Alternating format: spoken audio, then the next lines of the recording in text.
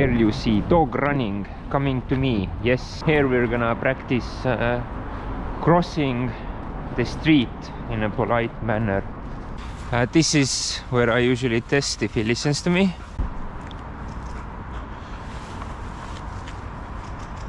Ja, kolm. Tubli, let's go.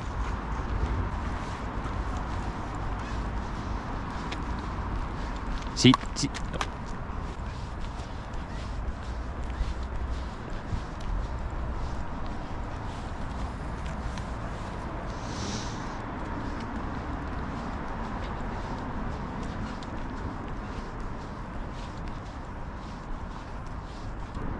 Okei okay,, vaata, nii, lähme vaikselt, just.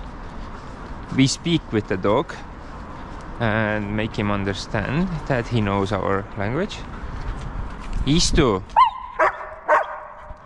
He says, I will sit, but don't make me sit long. Now I'm gonna tell him that we're gonna cross.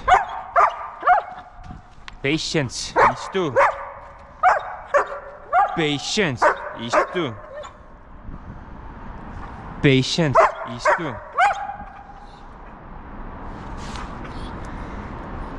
vaata, Loki.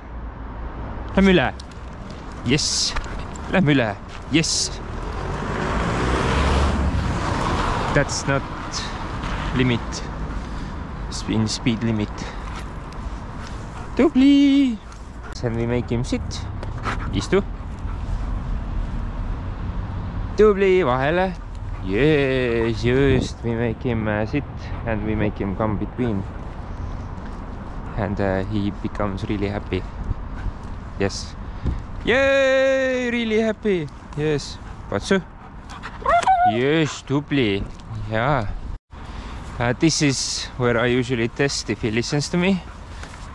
Like in the mornings, for example. Istu. Lama.